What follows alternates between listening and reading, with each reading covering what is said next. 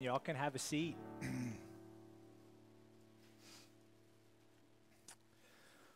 well, good morning. As Kate shared, my name is Mark, and I'm on staff with Crew, which is the college ministry of Providence Church. Uh, if you call uh, Providence Church your home church, welcome. If you're new, if this is your first time, your second time, you're just kind of checking out what we are all about, I want to extend a special welcome to you. Our hope and our prayer is that you would experience the love, the presence, and the truth of who Jesus is in everything, everything that we do, from the responsive reading to the worship through singing to the giving to now the teaching of uh, God's word. If you are new, we've been in a series uh, entitled Doctrine exploring life's biggest questions. That word doctrine, it means a collection of beliefs. In our case, we've been exploring doctrine, not just in the context of the Christian faith in general, but specifically doctrine as it relates to Providence Church. What does Providence Church believe about a whole host and variety of issues and topics related to the Christian faith? And so we've talked, for example, about the doctrine of God. What does it mean that God is Trinity, that somehow He's both three in one, that He's singular, and yet He's also triune? We've talked about the doctrine of Scripture. Phil last week spoke about this. What do we mean when we say that the Bible is both authoritative and also inerrant or free from error? This week, we continue by discussing the doctrine of man. The doctrine of man is a term that theologians use to describe both the creation of humanity, but also the nature of humanity before and after the fall. In the year 2006, Katie Piper was an aspiring model. Born and raised in Winchester, England, she moved to London in her early 20s to pursue a career. Around that time, she met a man by the name of David Lynch. They began dating. Early on, David was the perfect gentleman. They went out several times, they laughed, they flirted, they enjoyed each other's company. His interest in Katie, however, quickly turned toxic, manipulative, and abusive. After just two short weeks, Katie broke it off. Heartbroken and infuriated, David did the unthinkable. He hired a hitman to throw a cup of sulfuric acid across Katie's face. Immediately, Katie was rushed to the hospital, induced in a 12 day coma, and underwent extensive skin graft surgery. Over the course of the next decade, Katie would undergo nearly 200 procedures. In the aftermath of the attack, Katie shared she was horrified by the reflection of her own image, refused to look in mirrors, convinced that she would never recover, never find love again. I share Katie's story because there's a sobering spiritual parallel. In the beginning, God created humanity beautifully, wonderfully, fearfully. We were the pinnacle of God's creative grandeur. But tragically, the acid of sin was thrown in Genesis chapter 3, such that now the image is still there, but it's distorted. The image is still there, but it's damaged. The image is still there, but the effects of sin are unmistakable. Beautifully designed, yet also tragically flawed. This is a tension that you and I need to hold as we move throughout our morning. A tension that, if we're not careful, will reject and swing the pendulum too far in either direction. That either we're so sinful. We're so wretched. We're so depraved. We're not worthy of redemption. Or we're just completely fine the way we are and in not, in not need of redemption. Scripture offers to us a different image, an image that I believe is more honest and more beautiful because in the end, it points us to the ultimate redeemer of our humanity, Jesus Christ Himself. The doctrine of man, beautifully designed, yet also tragically flawed. God, would you meet us here right now? The task before us, it is weighty. It is significant. Would you draw close? Would you reveal to us your truth, but do so in grace and in gentleness? We ask that you'd quiet out any distractions that might inhibit us from hearing from you. We pray all this in your beautiful and powerful name. In Jesus' name, amen.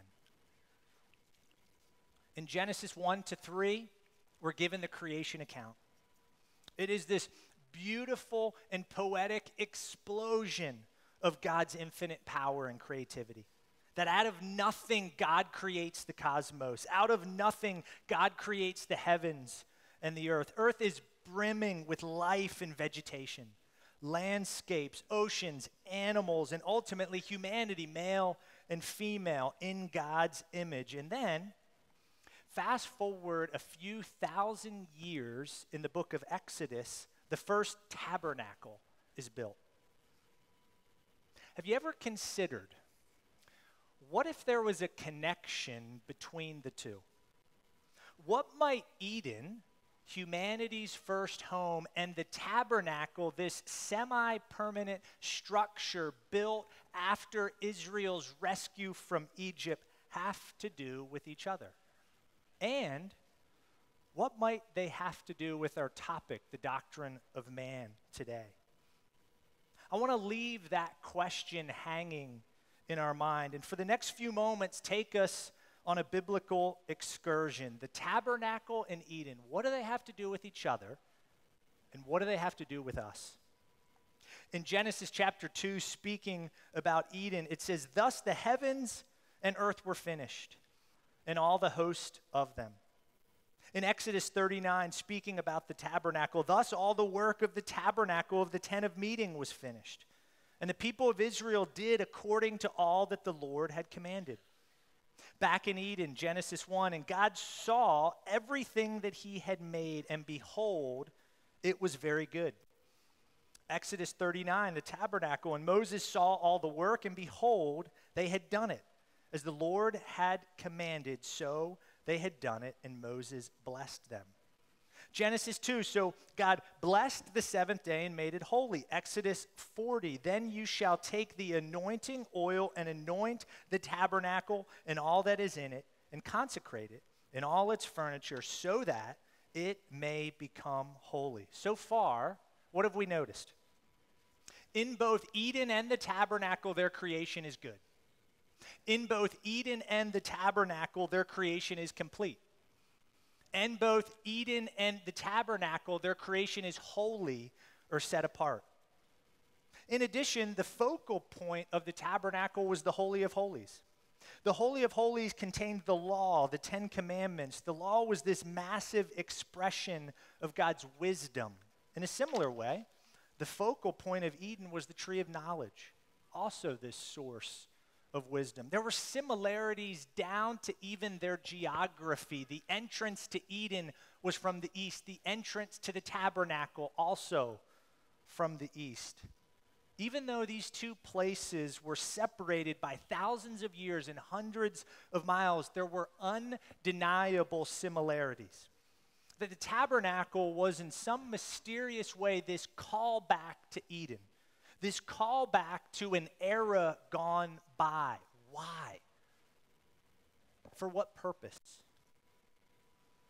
There's one more striking similarity that we haven't yet considered. In Genesis 3, verse 8, it says, And they, meaning Adam and Eve, heard the sound of the Lord God walking in the garden in the cool of the day. Leviticus 26, the tabernacle, this is God speaking I will make my dwelling among you my soul shall not abhor you, and I will walk among you and be your God, and you shall be my people. Eden and the tabernacle were both places of God's intimate dwelling. Eden and the tabernacle were both places where God chose to dwell with us. This is mind blowing. That the all knowing, all infinite, all powerful God of the universe would set his affection on us and desire to dwell with us. This is a massive and foundational truth we must understand with respect to our humanity. That from the foundation of creation, God designed the world to be connected to you. That even after sin entered the narrative in Genesis chapter 3, that pursuit never stopped. The pursuit was made evident in Eden, made evident in the tabernacle, made evident later still in the temple, and finds its ultimate fulfillment in the life and ministry of Jesus. That all throughout the scriptures, God foreshadowed a day when a new tabernacle was coming, a new temple was coming, one not built by human hands, but one that would endure and dwell with his people forever. That should give us tremendous comfort and tremendous hope. One of the deepest longings of the human heart is the desire for intimate and abiding connection. The paradigm of Eden and the paradigm of the tabernacle are tangible proofs that the God of the universe wants to dwell with you. I believe this truth takes on even more profound meaning in the year 2020. We live in this fascinating era of human history that on the one hand, technology has made it so that we can communicate with anyone at any point, at any time.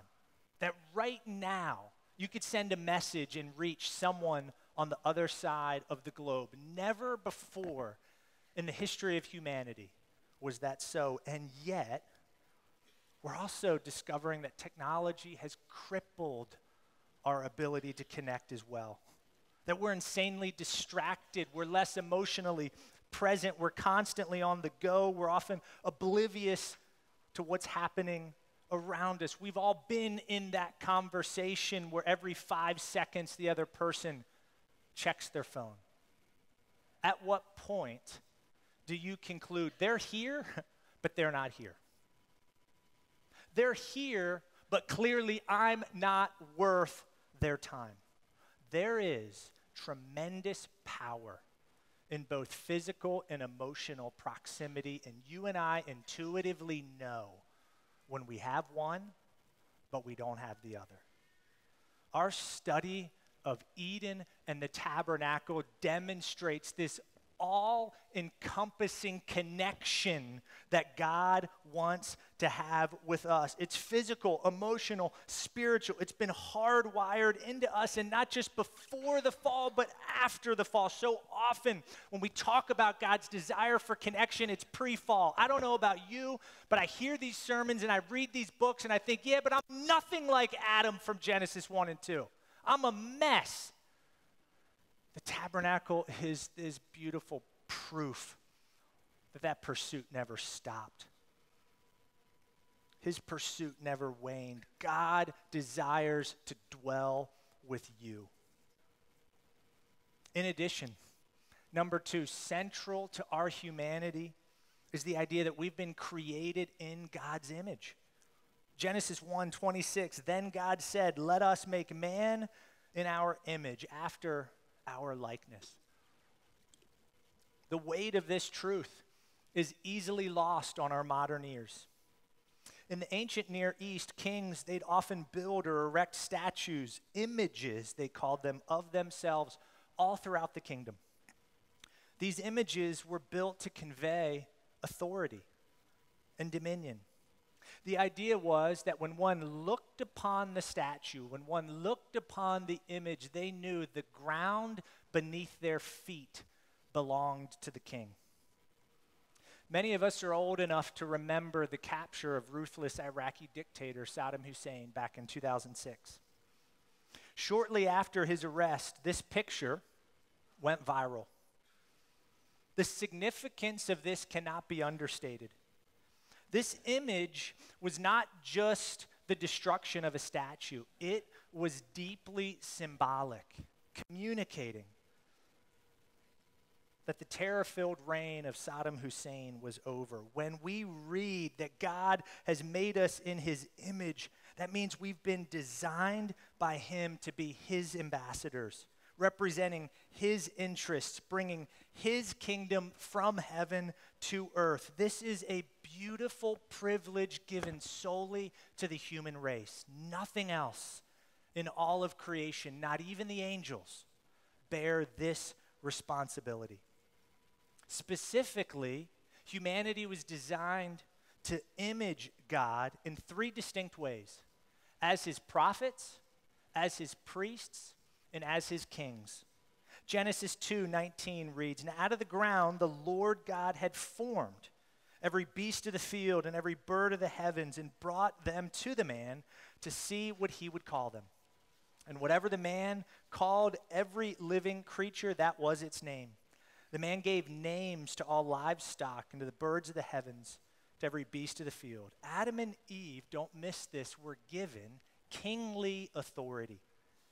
They had authority to co reign with God, to name the animals under their care. In addition, they were to mirror God as priests. To be a priest meant to serve. All throughout the New Testament, when scriptures speak about the priesthood, not only is it an office where you're a mediator, but it is an office of service. Genesis 2:15, the Lord God took the man, put him in the garden of Eden to work it and to keep it. I learned this recently from one of my seminary professors. Have you ever considered that Eden before the fall was both paradoxically without sin, but also incomplete. So often, when we think about Eden pre fall, we think that God created completed perfection. But if Eden was complete, that would mean that there was no meaningful work for Adam and Eve to do isn't it much more likely that Eden, before the fall, more closely resembled a beautiful but rugged, incomplete landscape than some kind of Disneyland completed utopia? This is significant because it speaks to the importance and necessity of Adam and Eve's priestly duties in the garden. Their work mattered, and our work matters. And finally, Adam and Eve, they were to mirror God as prophets. Prophets hear God's word, obey God's word, and speak God's word to others. Genesis 2 16, and the Lord God commanded the man, saying, You may surely eat of every tree of the garden, but of the tree of knowledge of good and evil you shall not eat, for in that day you eat, you shall surely die. God spoke to Adam and Eve. He spoke in such a way that they could hear and understand. And already we begin to see their failure in the prophetic role. They heard God's voice, but they did not obey God's voice. And what happened next was the acid of sin was thrown. The offices of prophet and priest and king, they're not eliminated, but they're splintered all throughout the Old Testament. We see the continuation of these offices but they're marked with sin. They're marked with struggle and difficulty and strife. More on that in a minute. But first, let's pause and consider just the collective significance of everything we've said thus far. We've said that we've been designed to dwell with God, that He desires to be present with us, that we're made in His image that we've been designed to be his representatives as, as prophets, priests, and kings. Taken together, these truths answer, I believe, two of the most fundamental questions that plague every single person. Number one, does my life have value? Number two, does my life have purpose? And the answer to both is a resounding yes.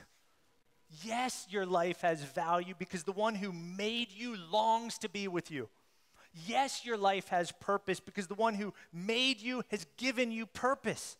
He's given you direction, He's given you influence and the opportunity to steward His kingdom in your life.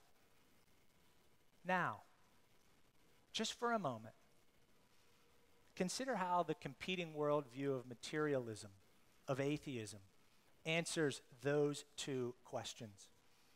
According to atheism, does your life have value? Does your life have purpose? No. Why? Because you, me, everything, and everyone did not come into existence by the hand of a loving creator, but by the cosmic collision of three things impersonal matter, chance, and time. That's how you came into being matter, chance, and time. If true, your life has no value, your life just is.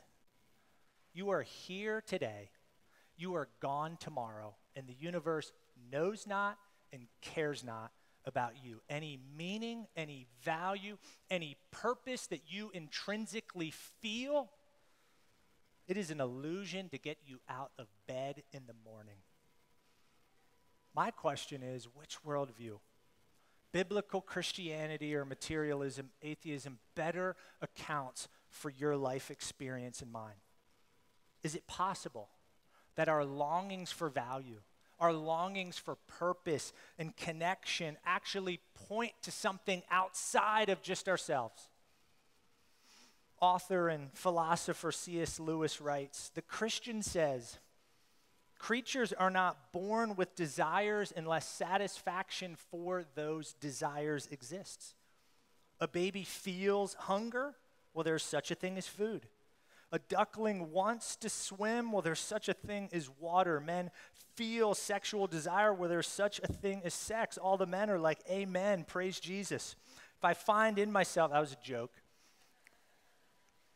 If I find in myself a desire which no experience in this world can satisfy, the most probable explanation is that I was made for another world. I'd argue that our longings for value, our longings for purpose, our longings for meaning are tremendous evidence that the biblical worldview is true. They are tremendous evidence that the God of the Bible exists, that He created you to know Him, dwell with Him, and live out your purpose in Him. We have been beautifully designed. But tragically, as we all know, the story doesn't end there.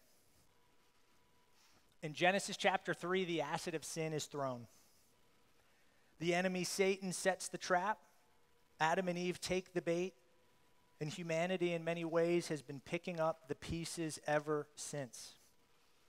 Genesis 3, beginning in verse 1. Now the serpent was more crafty than any other beast of the field that the Lord God had made. And he said to the woman, Did God actually say, You shall not eat of any tree in the garden? And the woman said, We may eat of the fruit of the trees in the garden, but God said, You shall not eat of the fruit of the tree that's in the midst of the garden, neither shall you touch it, lest you die. But the serpent said to the woman, You will not surely die. So when the woman saw that the tree was good for food, that it was a delight to the eyes, she took of its fruit and ate. And she also gave some to her husband who was with her, and he ate. Then the eyes of both were opened and they knew that they were naked. And they sewed fig leaves together and made themselves loincloths. They heard the sound of the Lord God walking in the garden in the cool of the day. And the man and his wife hid themselves from the presence of the Lord God among the trees of the garden. But the Lord called to the man and said to him, Where are you? And he said, I heard the sound of you in the garden, and I was afraid because I was naked and I hid myself. Who told you that you were naked? Have you eaten of the tree which I commanded you not to eat. The man said, The woman whom you gave to be with me, she gave me fruit of the tree, and I ate. Three tragic consequences from sin are introduced in this text. Consequences so native to the human experience that you and I cannot fathom an existence without them. Number one, guilt. Notice the way that Adam responds to the direct question from God Did you eat of the fruit? Instantly, Adam, Adam shifts blame. This is a telltale sign of guilt. It wasn't me, it was her. Number two, fear. We're told that Adam and Eve hid themselves from the presence of the Lord because they were afraid. And then, third and finally, shame. Adam and Eve were ashamed of their nakedness, and so they covered themselves. This is what sin produces. Sin produces guilt, sin produces fear, and sin produces shame. Sin, first and foremost, it is rebellion against God. And this is where, incidentally, our opening illustration about Katie begins to break down. See, in Katie's case, Katie was the victim of evil committed against her. With respect to sin, yes, at times we are victims of sin, but we're also perpetrators of sin. We're victims in that we are sinned against, but we're also perpetrators in that we willingly sin against God, against ourselves, and against others. I've, I've often heard, and perhaps you have heard this as well, sin described in archery like terms. The idea is that God's perfection represents the bullseye. The bullseye is his character, his will, his desires for you and for me. Sin is anything outside that bullseye. Sin is missing the mark. I've recently come to realize that in one way, that illustration is helpful, but in another, it is not. It's helpful in that it rightly communicates the perfection of God, but it is unhelpful in that it wrongly assumes that you and I get anywhere close to that perfection with our thoughts, deeds, and actions. If God's perfection is the bullseye, and say, for example, the arrow of my life is an inch or two away, well, then, God, I'm doing pretty good.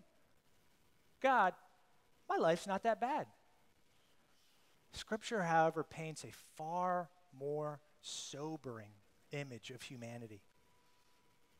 In Romans chapter 3, Paul writes, None is righteous, no, not one. No one understands. No one seeks after God. In keeping with the illustration, a more apt description would be you and me looking at the target, looking at the bullseye with our arrow in hand, and then turning around in the complete opposite direction and firing our arrow this way instead. God, I see your word. I see your law. I see what you want for me in this situation, but no, I choose disobedience. This is painful to hear.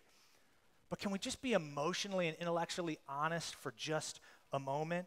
Aren't there times when we know exactly what's right, but we willingly choose to do what's wrong because it just feels better in the moment? It feels good to lash out in vindictive anger. It feels good to ignore your spouse and kids. It feels good to make that unwise financial choice. It feels good to spread that juicy piece of gossip. It feels good to act out on those sinful sexual impulses. It just feels good. Sin is less like missing the mark and more like a dye that permeates a pure glass of water. It permeates every aspect of the glass and every aspect of the water. So, what can be done? What can be done? This is a seemingly, seemingly impossible problem to solve. On the one hand, God has set eternity in our hearts.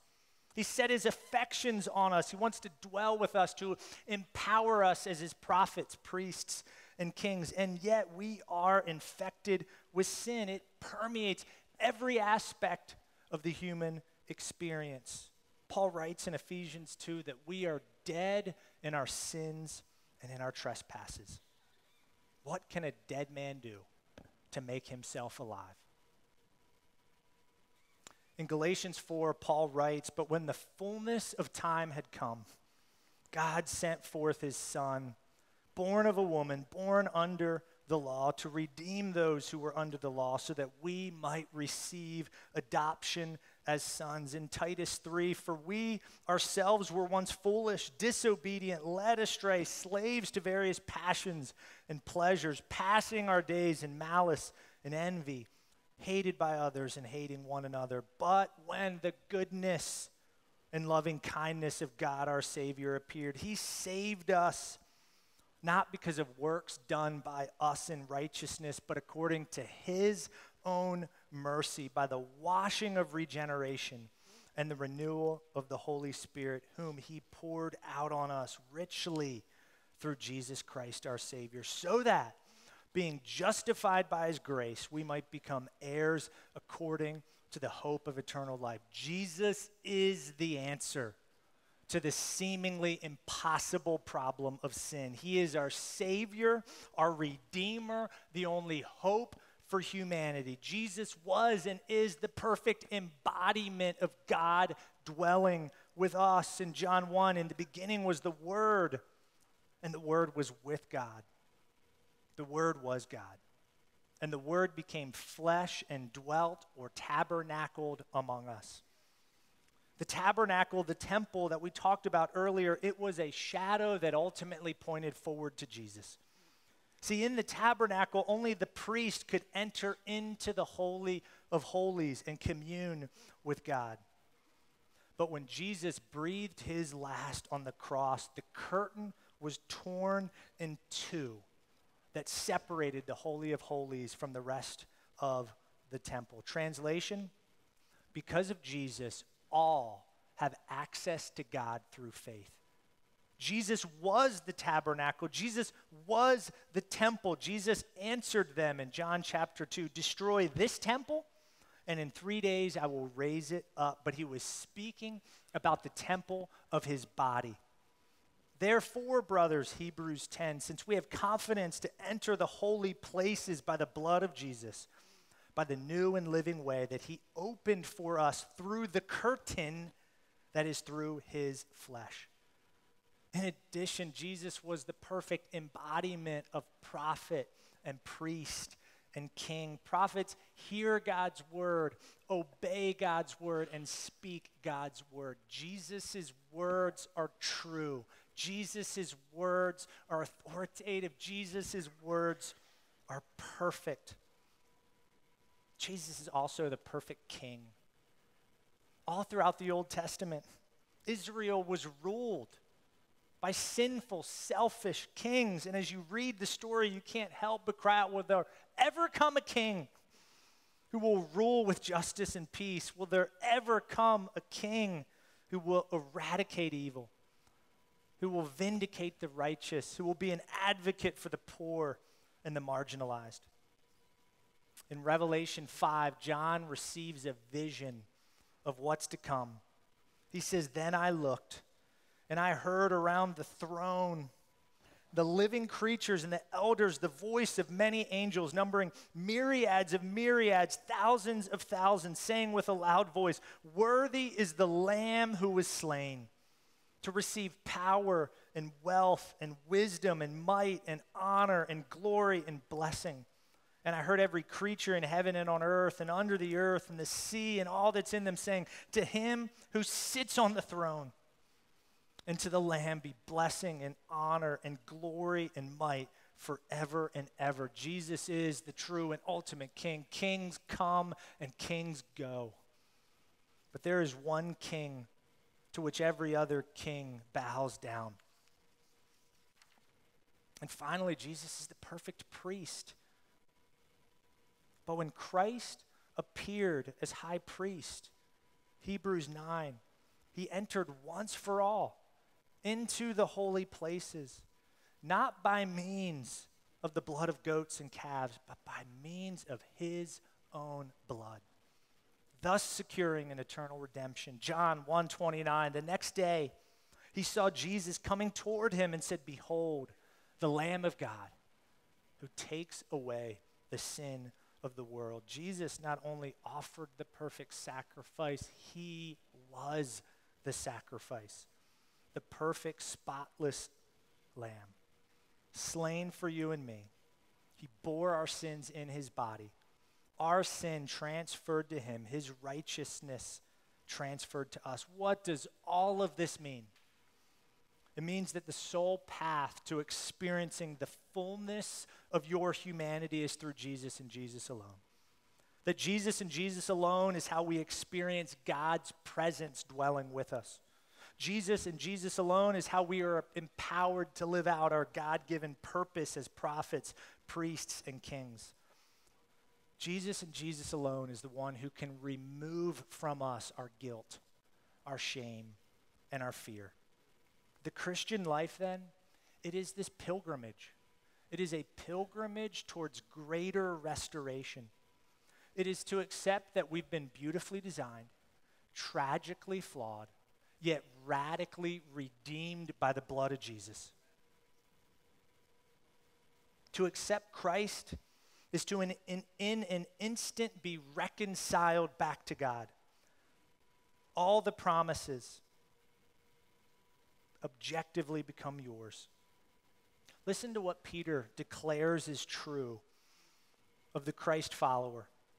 He says, But you are a chosen race, a royal priesthood, a holy nation, a people for his own possession, that you may proclaim the excellencies of him who called you out of darkness into his marvelous light. Once you were not a people, but now you are God's people. Once you had not received mercy, but now you have received mercies. Do you hear the echoes of everything that we've unpacked now beautifully applied to the church, applied to the Christ follower, all in and through Jesus? That to accept Christ is to be restored back to this intimate dwelling with God, to be His kingdom of priests, to be commissioned by Him, to be set apart, to declare His interests and His kingdom to the world around us. In an instant, you're forgiven, you're adopted, you're cleansed from sin, you're granted or imputed the righteousness of Jesus. And yet, in the day to day, we often fail to live out the things that God has objectively declared true. The image on screen, I think, captures this tension so well. That on the vertical, I want you to notice righteousness, and on the horizontal is time.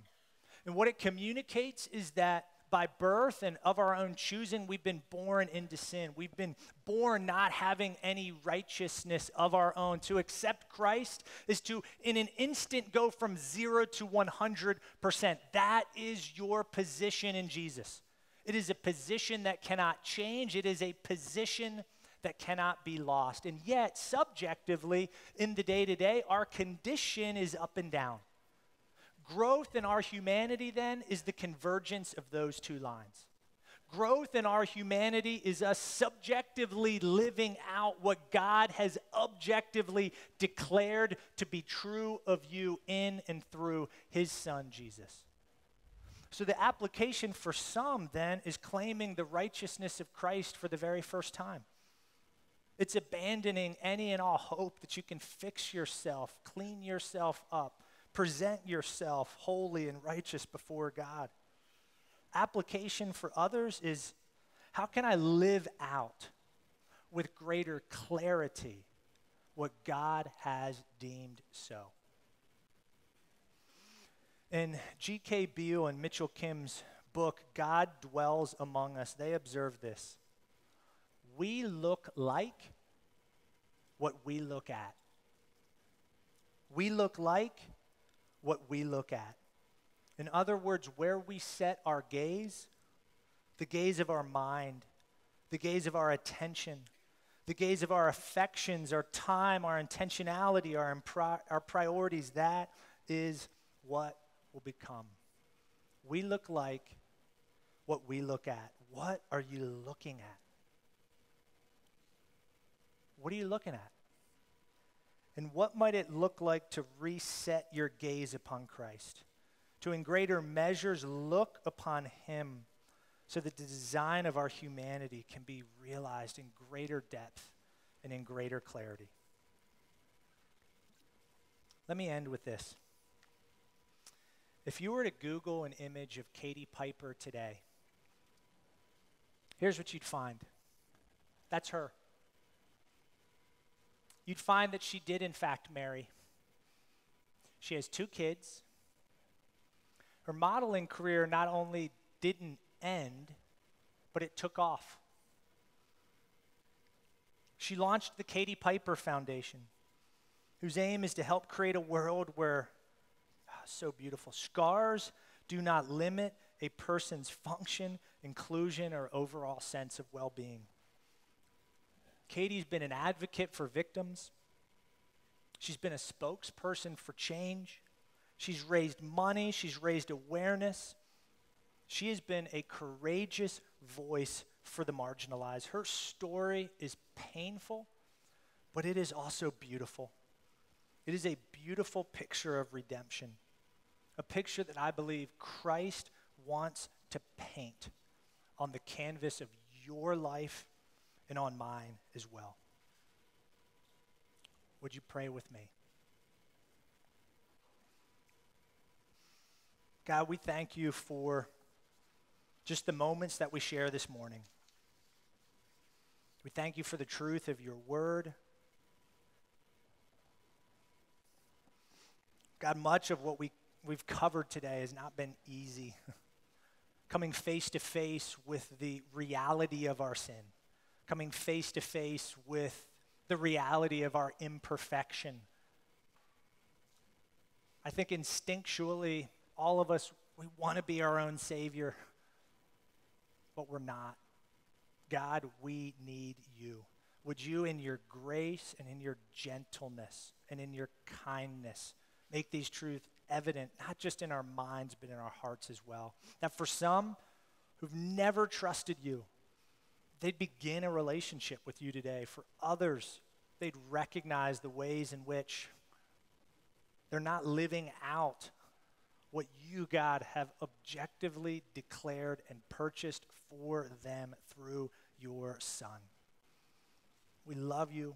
We pray all these things in your name and for your glory. Amen. Hey, one quick thing. I want to uh, invite the prayer team to actually come up. And listen, if you need prayer, um, I just invite you to come forward. We'd love to pray with you, pray for you, and minister to you in that way.